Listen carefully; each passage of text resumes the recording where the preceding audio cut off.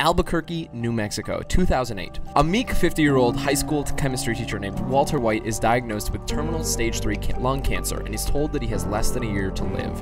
Upon hearing the news, Walter White looks for a way to cash in on his mastery of chemistry and leave a legacy for his wife and two kids. Walter teams up with a deadbeat former student named Jesse Pinkman. Together, they start their own methamphetamine operation. After a few seasons of blunders and struggle, Walt becomes a cunning and ruthless criminal and transforms into the world's leading methamphetamine kingpin. He eventually amasses a fortune worth over $80 million and he intends to discreetly leave it to his family, all as a result of him breaking bad. If you were to advise a client on how to pass on $80 million of illegal drug money without being caught, what would you advise? The No. first part would No. be- No, no, Hold no, on, no, no. hold on, hold. No, no, no, no. I'll get to Hold my office. We are not. We cannot tell people on a podcast how to launder money. That would get us disbarred. You should be completely candid with your lawyer about everything. Yeah. This might be one of those things that you might want to keep on the shelf. It's Yeah. better to tell me it's, oh, it's just family money. Okay. Because Yeah. because I cannot be allowed to participate in your crime or fraud. Gotcha. Yeah. So hold on. So so attorney-client privilege lasts until someone says, "Hey, I committed this." There really are a awful few. crime." There are some exceptions to the big attorney-client exception. privilege. Yeah. So fraud. Another one would be uh, if somebody is in immediate danger of of, har- of serious harm or death. I've had this happen, right, where a client tells me that they are going to go beat up so and so. Now you have to call the police I had to call the cops. I've had to do that three times. Yep. So don't tell your attorney that you're in the midst of. Uh, uh, Yeah. don't- We don't need to know where the money came from. We need to know where it is and how it's being held. Yes. Gotcha. One thing you're gonna want to be cur- concerned about with the eighty million dollars is still the estate tax. Okay. so what you'll probably end up doing, regardless, is setting it up in trust and probably buying a life insurance policy to cover your tax liabilities. If he were not facing a terminal condition, he might want to start making set up trust for his children and stuff and start making strategic annual gifts to start conveying his wealth and also putting his property into a um essentially like a qualified personal residence trust where you slowly transition ownership of it from yourself to your intended heirs and not have it be a, a significant tax event. Um. Okay. There's no legal way no to answer that advice I could question. give- Yeah. There's not even legal advice I could give you that was legal. Yeah, Gotcha. if you were to do that, it would be would just be not with the help of a lawyer. it would- it would You would be- need to figure it out on your own. In season two, Walt and Jesse meet a slimy lawyer named Saul Goodman who gives them an education in laundering money, which we can't obviously Saul advise. is not on the ethical up and up. yeah, no. They eventually buy a car wash, and Walt's accountant wife Skyler helps him cook the books so that they can eventually justify all this money to the IRS. Do criminals often buy small businesses to justify their illicit earnings to the government? Like, isn't it? I- is it a I wild? don't have I- statistics on that. Yeah. Okay.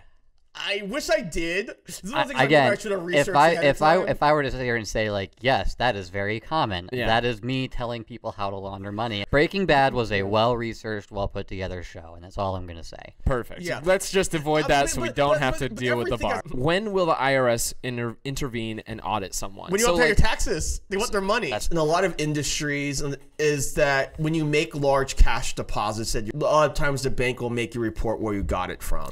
Gotcha. So okay.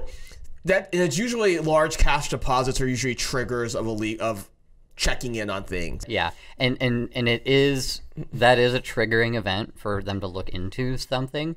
But just so people know, it is illegal to try to structure deposits to avoid that. As a general rule, since you're talking to your bank, don't don't violate the law. Just talk to your banker. Don't lie to your bank. and Yeah. get their process for it.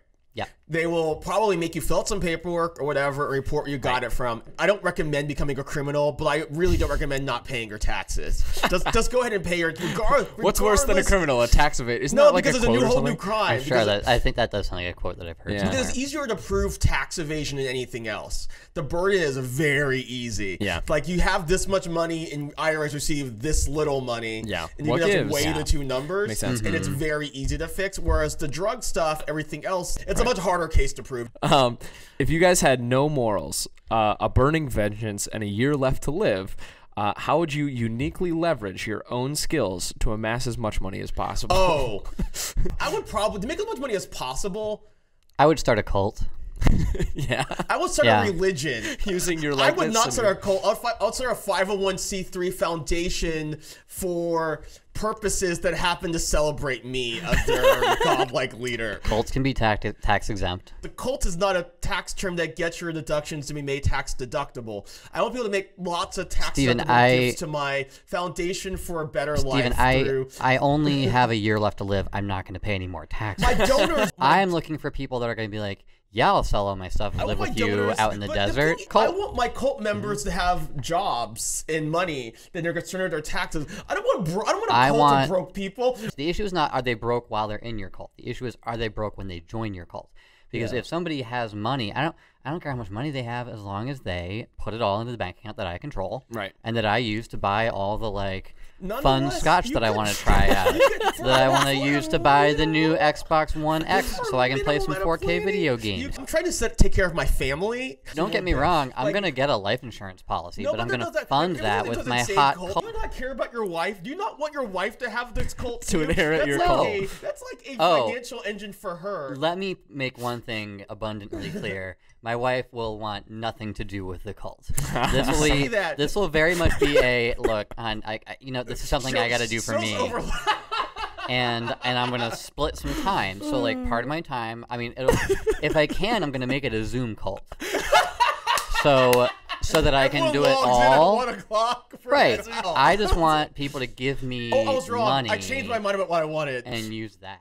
Guys, thanks so much for watching. If you enjoyed this, let us know in the comments. Um, post a comment, like this video, and if you could share this, that would be fantastic. Guys, we recently created a PDF about estate planning, and James is going to tell you about it. Yeah, so it is a primer for people that are thinking about estate planning or are thinking that maybe they should be thinking about estate planning. And we try to just go through uh, some of the big mistakes that we see people make and what you can do to try to avoid those same mistakes. So go ahead and check it out. Hopefully, you Yeah. learn something. It's called The Three Biggest Mistakes to Avoid When Planning an Estate, um, or something along those lines. The Working link title. Is, the link is in the description. Go ahead, check it out, um, and it will help you uh, figure your stuff out. If you would like an estate planner, or if you have an estate planning question, give us a call 404 939 7562 or send us an email info at scriberlaw.com.